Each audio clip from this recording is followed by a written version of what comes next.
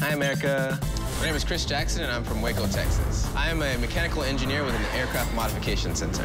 I think engineers rule the world. We are, in general, inherently king of the nerds because that's what every nerd inspires to be, or aspires to be, is an engineer.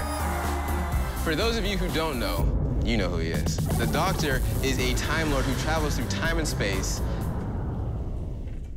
Right now, my weird, weirdest habit is solving a Rubik's Cube.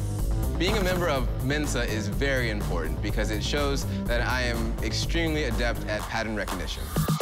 Pattern recognition is important because it enables people to do things quicker and faster. If you can see something, you can create a solution to it faster than anybody else. I'm gonna try to be a little bit PC here. I'm really good at making people think they have ideas when it's actually my idea.